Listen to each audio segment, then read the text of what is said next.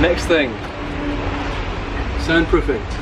Designed to prevent your panels on your van from vibrating while you're driving around and it reduces the noise from the outside so if someone's speaking and you're on the inside of the vehicle then you shouldn't be able to hear them.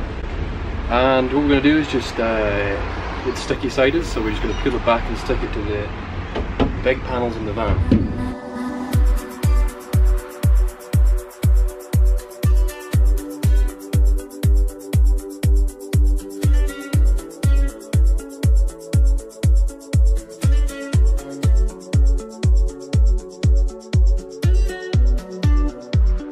And the stuff I bought from eBay comes all the way from China.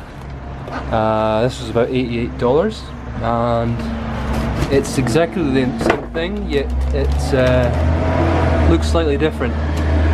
But I'll just uh, finish off covering that one. So once I've uh, peeled off the sticky back layer I'm trying to follow the contour of the wheel arch and at the same time trying not to overlap anything. So as you can see here, I've kind of stitched bits and pieces together to make it match the outlines and contours of the wheel arch. So these aren't usually a feature that uh, you see on wheel arches, but because it's a minibus, they have wedlets, I guess you could call them. They allow the chairs to be fixed onto, so we just have to work around it. Okay, so this is the resulting coverage of the wheel arch. So I think I used two and a half of these sheets and managed to cover up just about everything. For the bits where there were gaps, what I did was on these parts I picked off the, the gum, the rubber stuff, and packed it in the gaps just to uh, kind of seal off all the um, holes. I don't know if it makes much of a difference to be honest.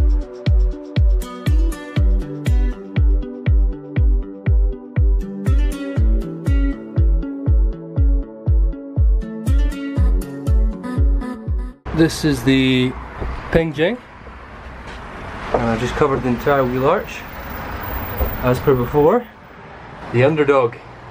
To, to show you, I've uh, done all the inside panels and on this side as well. I've got the door to do yet, but then I've also covered this because the engine block's underneath here. This black stuff is actually soundproofing that the manufacturers put in, so that's perfect. And uh, I'm going to show you the roof. So right now, listen. Soundproofing test.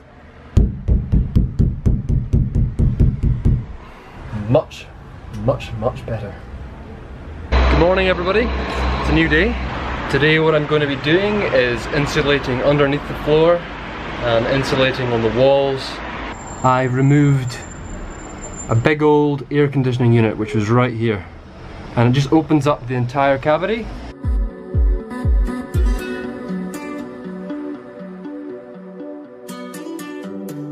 I found these on the street. I bought these from Bunnings for $12 each. I'll put the eBay link in the description below. Spray glue. I'm not sure if this will be enough, but we'll uh, see how we go.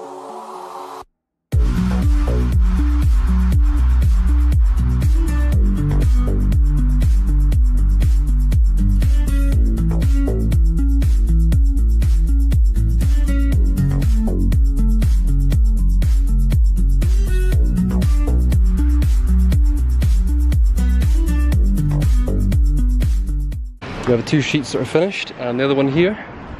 So we've just got some uh, overlapping material here that we're going to use a razor blade and cut that off with. Okay, so you see this has turned out right enough. Fit the layers in and then stick them onto the board.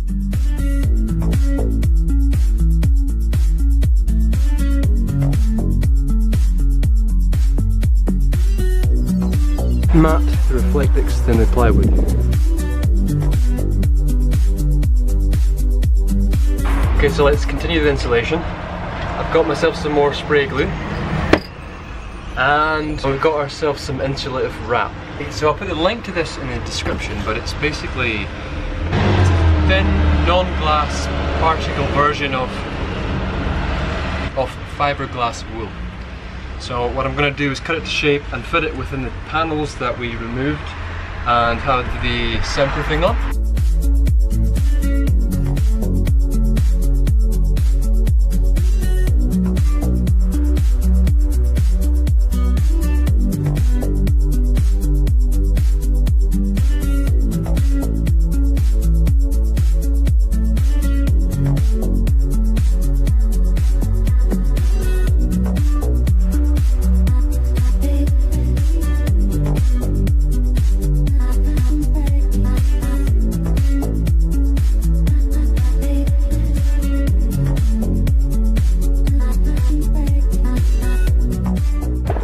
That's our insulation complete. So in effect what we have, woolly insulation, we have the Reflectix and then we've got some polystyrene. Please subscribe.